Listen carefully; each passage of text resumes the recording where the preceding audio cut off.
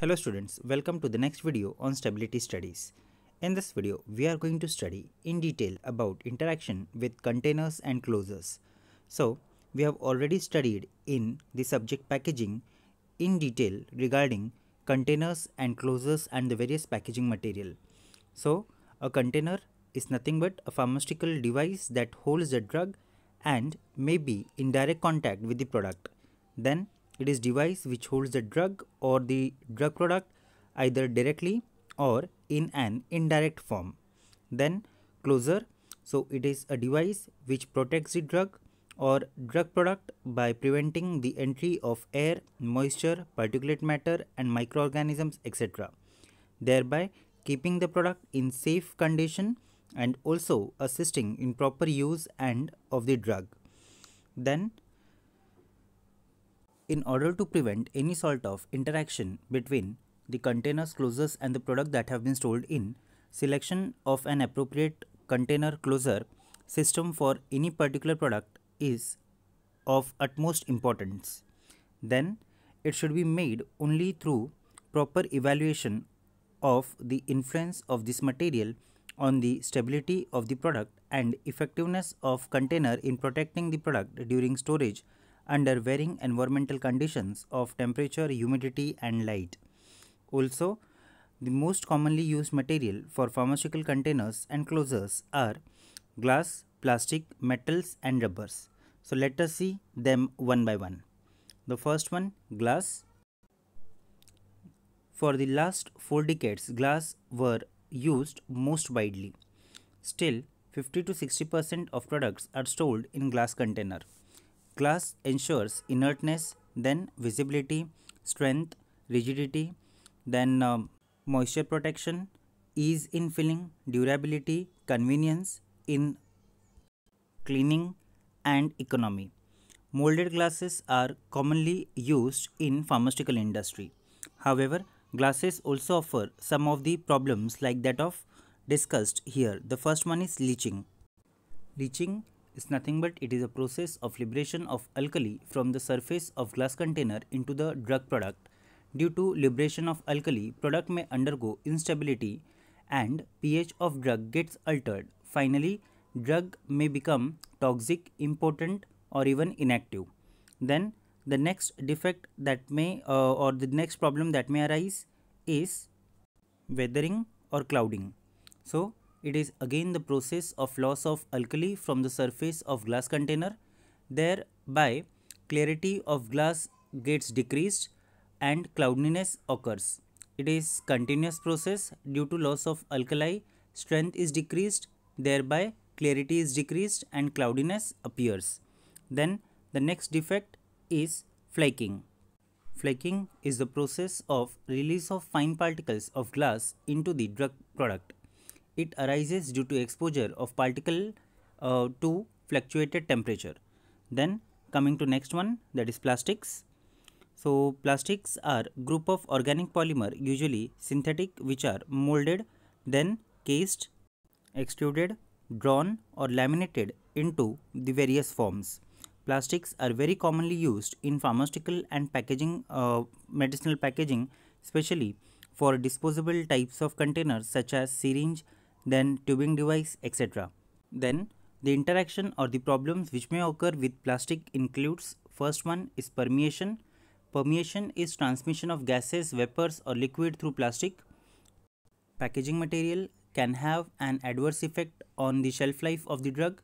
Then permeation of water vapor and oxygen through the plastic wall in the drug can present a problem if the dosage form is sensitive to hydrolysis and oxidation temperature and humidity are important.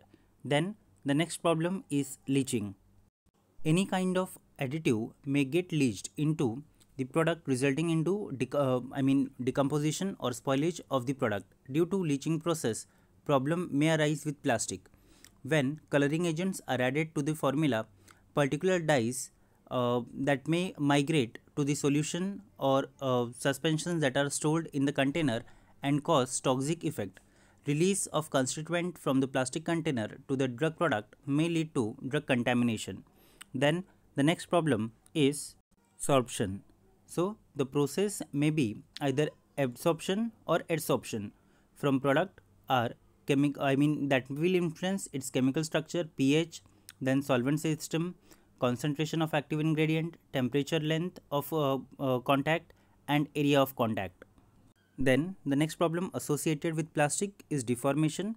So this effect occurs if uh, permeation, leaching and sorption occur.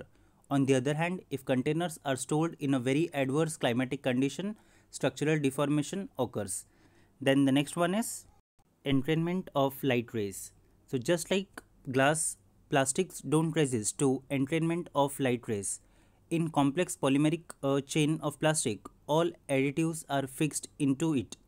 Even though a very high complex occur, fine pores can appear both on complex which can allow the light rays to pass and that may affect the light sensitive materials resulting into its decomposition. Then let's talk about metals. So they are widely used for manufacturing of containers for semi-solid dosage form, aerosols and solid ingredients in bulk and also these materials are used as containers for storing different kinds of food. Then the problems that are associated with metals are highly reactive. Many of the metals are highly reactive with the chemical substance that are stored within that respective container. Then the next one is corrosion might occur either from inner side or outer side. Therefore, thus in order to overcome this generally coating is preferred and the last problem that may arise with metal is uh, they may shed particles into the solution that are stored within the container. Then let's talk about the next packaging material that is rubber. So this is mainly used for manufacturing of closures, then filters, cap lines, droppers generally for patriotic purpose. It avoid leakages and protects external environment. Further, rubber occurs in two forms. First one is natural rubber and next one is synthetic rubber. We are not going to see in much detail because already we have covered this in our previous uh, semester in packaging. So here we are just summarizing in short. Then the problems that may be associated with rubber include first one is compatibility the glass container or the uh, sorry the rubber closure has to be compatible with the product that have been stored therein. Then uh, extractiveness that is nothing but leaching or the glass uh, sorry the rubber should not get leached or should not uh, i mean uh, shed the particles into the product that have been stored therein. And the last one is leakage. In leakage i like to add that though the rubber uh, closures are expected uh, to offer the property of permeability however they should also be self sealing that is once the syringe have been uh, i mean used to withdraw the drug it should get self sealed I like to add one more problem which is related with that of rubber is permeation.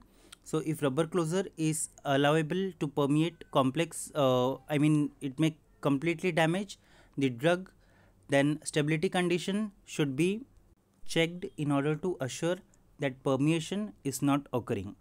So care has to be taken that whatever container or whatever closure system have been used for storing of the product they are not going any sort of interaction or neither there is any addition or omission into the product that have been stored therein and whatever container and closure that have been used they should remain inert throughout. The container must be rigid enough to prevent damage to the content that have been stored therein and the material of uh, construction should not react with the content. Also, they should be able to protect the content from the environmental hazards. So thank you for watching this video.